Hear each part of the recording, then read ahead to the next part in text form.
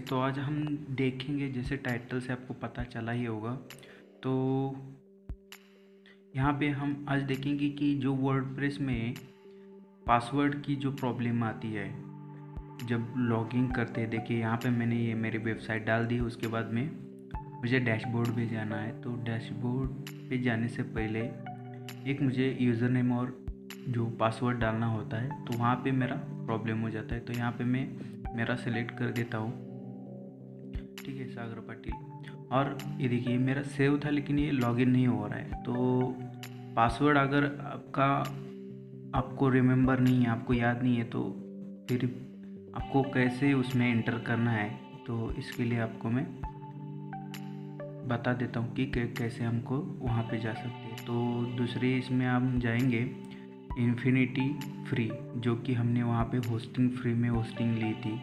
Infinity free में hosting और उसमें मैं लॉगिन था, उसका पासवर्ड और ये मुझे मालूम है, ये आईडी ठीक है? तो यहाँ पे देख सकते हैं वो इन्फिनिटी फ्री वाला खुल गया यहाँ पे देखिए, सागर पाटिल का जो ये है तो वहाँ एक्टिव है तो उसको मैनेज अकाउंट पे हम क्लिक करेंगे, ठीक है? तो उसके बाद go to control setting setting control जिस, जो ऑप्शन है, उसके ऊपर सेलेक्ट करने के बाद हम, देखिए, आगे जा रहे हैं।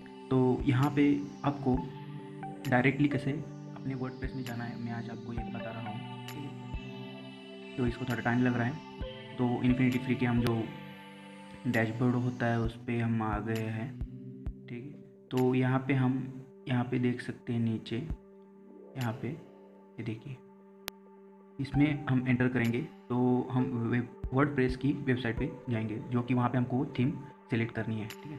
तो यहाँ पे आप देख सकते हैं वर्ड प्रेस पर हम अपना एडिटिंग करेंगे। तो यही था इसलिए मैंने चूज़ किया वर्ड प्रेस का ही बात चल रही है इसलिए। तो यहाँ पे आप देख सकते हैं वर्ड प्रेस पर मेरा एक्टिव है, जो कि Sagar Patil dot M L के नाम से। यहाँ पे क्लिक करेंगे तो आप अपनी वेबसाइट पे जाएँगे और अगर आपको उसको एडिटिंग इसका डैशबोर्ड के लिए यहाँ पे एडमिन पे क्लिक करना है, ठीक है? तो इस एडमिन पे क्लिक करने के बाद आप सीधे जाएँगे अपने डैशबोर्ड पे। देख रहे हैं। तो यहाँ पे हम अभी डैशबोर्ड पे आए हैं। पासवर्ड नहीं डाला, कुछ नहीं डाला। डायरेक्टली हम अपने डैशबोर्ड पे गए तो यहाँ पे हम लॉगिन हो चुके हैं, ठीक है? यहाँ पे देख सकते हैं। यहाँ पे आप एडिट माई प्रोफ़ाइल करके आप सेट चेंज भी कर सकते हैं पासवर्ड लेकिन अगर आपको पासवर्ड खो गया है, नहीं तो कोई याद नहीं है तो यहाँ पे क्लिक करके आप आराम से जा सकते हैं, ठीक है? तो फिर से एक बार देखिए कैसे कैसे, कहाँ पे है, ठीक है? तो हम उसमें एंटर कर देंगे।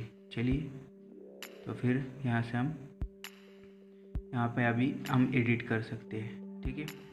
Thank you thanks for watching bye bye अगर वीडियो अच्छा लगा हो तो लाइक करिए और वीडियो को शेयर करिए ताकि और भी लोगों को ये देखने के लिए मिले।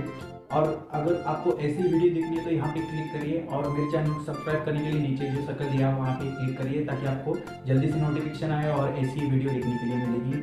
Thank you thanks for watching thank you